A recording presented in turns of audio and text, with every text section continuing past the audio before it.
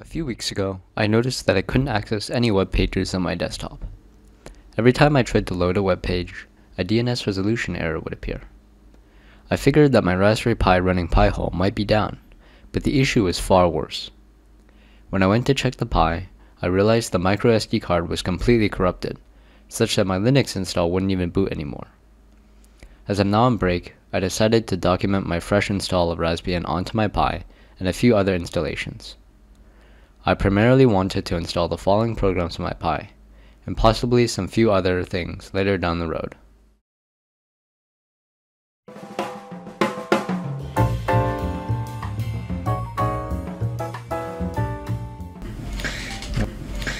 Okay, so first of all, um, we're gonna take the uh, the SD card reader and then we have our micro SD here and this should allow us to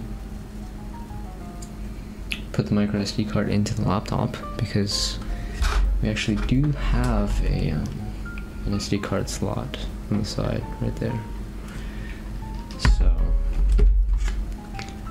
let's do that real quick.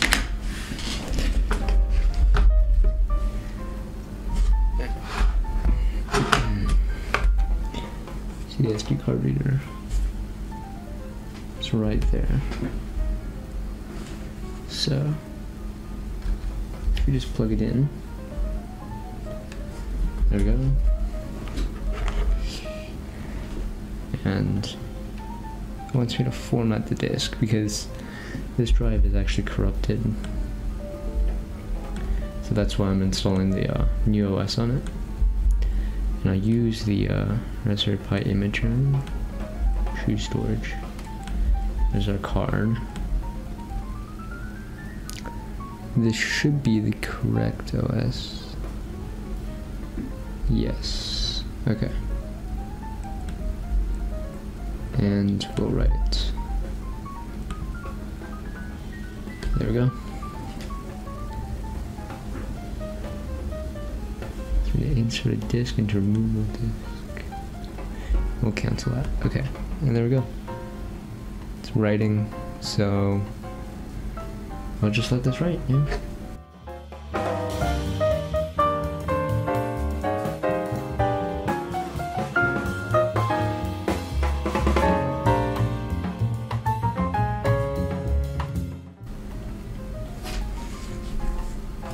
Okay, looks like it's done actually. So, um, yeah, should be it. Um, I'll remove the SD card and then plug it into the actual Pi and see if it works.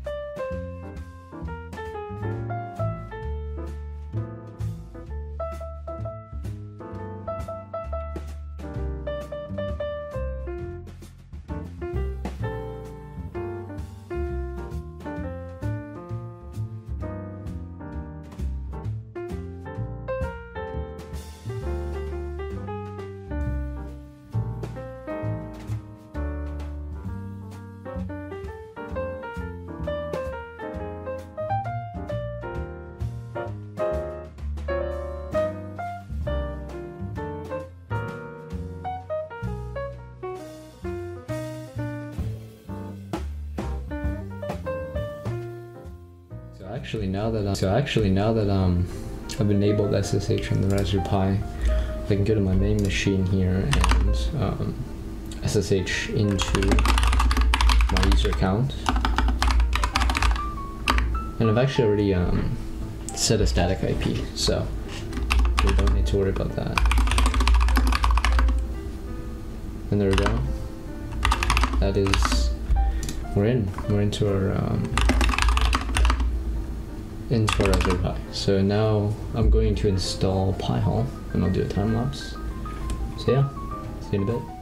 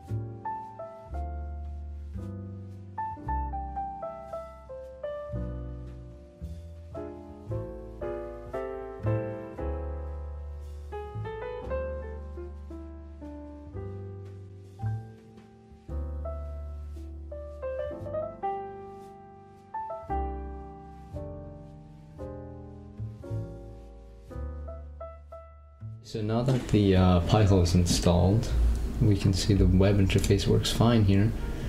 Um, we have the uh, default block list, but I'm actually going to configure this device to use the um, Pi-hole DNS.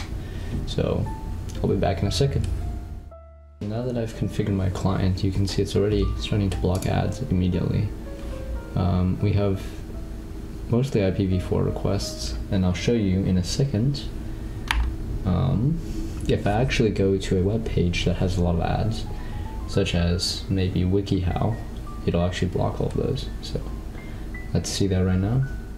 I'm on WikiHow in incognito mode, so I have no ad blocker actually, you can see. So if we click on one of the articles, usually there's a lot of ads.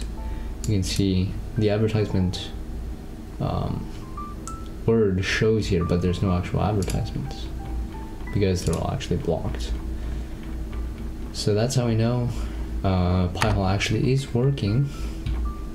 If we click on another one, you can see no ads at all. So yeah, that's the Pi-hole installation.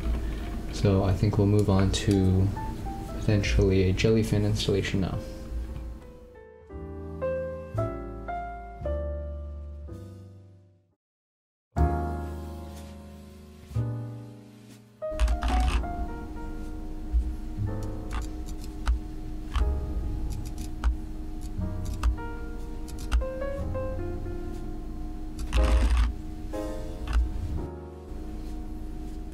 Okay, so uh, now that Jellyfin is done installing, let's go ahead and configure the web interface. So, okay, that is kind of weird. Um, let's put username right click, set a password,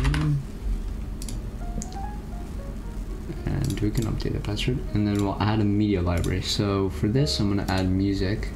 I don't actually have any um, video so far, but maybe in the future I'll add some. So this will be music. I'll name it music. And for folders, it is located in my home directory. And in music, download songs. Yes, should be there. Preferred language, we're going to obviously put English country, United States. Real-time monitoring, yes, I think we will put that. We will activate all these. Uh, refreshing metadata, that's not really useful for me. These are good as they are. Yep, okay, that's good. Okay, ultimate music. Let's go next. Prefer metadata. Allow remote connections, yes. So this is port forwarding, I believe. Yes. Uh, we will do that later. Okay, everything is done. So we can go sign in.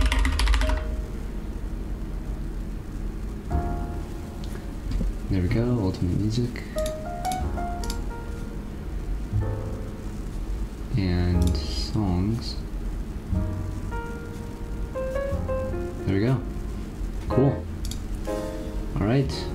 Perfect.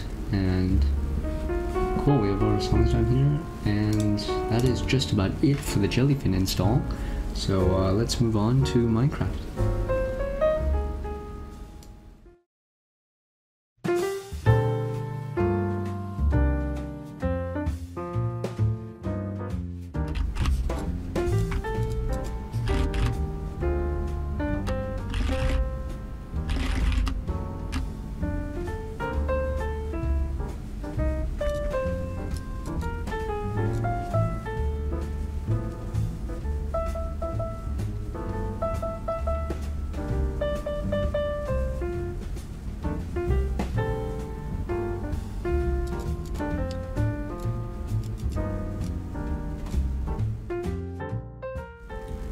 Okay, so now that the um, Minecraft server is done, spun up, it is running.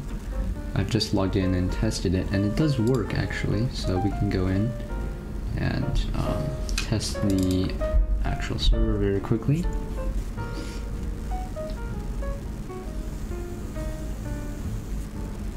So there we go.